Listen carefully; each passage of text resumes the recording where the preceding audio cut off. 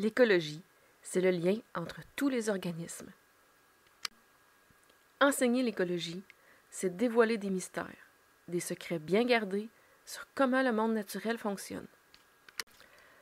Pas besoin de vous dire que j'adore enseigner l'écologie. Bonjour, ici Véronique Cloutier. Vous m'avez peut-être vu dans les cours de découverte des mammifères et découverte des champignons. Je suis chercheur sur la mycophagie, les animaux qui consomment des champignons. Je suis biologiste et j'ai un doctorat en sciences forestières. Je suis chargée de cours à l'UQTR et à l'Université Laval, et évidemment à l'Université du troisième âge. J'ai donné des conférences de l'Arizona à Trois-Rivières en passant par Harvard. En 2020, je vous offre pour la première fois à l'UTA un cours sur l'écologie. Découvrez pourquoi, lorsqu'on a réintroduit les loups de Yellowstone, le niveau d'eau des marais a monté. Pourquoi, si on retire les ours de la forêt pluviale, un azote très spécial disparaît?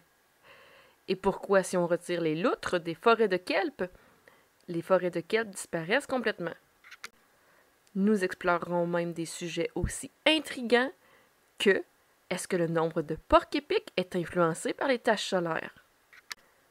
Vous apprendrez beaucoup dans un environnement plaisant où la curiosité et les découvertes sont la ligne directrice.